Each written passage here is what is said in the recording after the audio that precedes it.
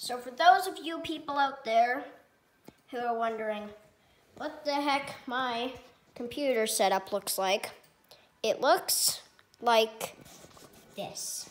So I have this, the my normal computer with the, the glowing mouse and the awesome mouse pad and all the cords and stuff.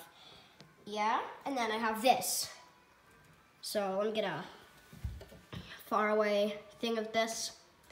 That is my computer setup right there. I got, I hope you guys enjoyed this video. If you did, smash like button, and I'll see you all in the next one. He died. Bye. He died.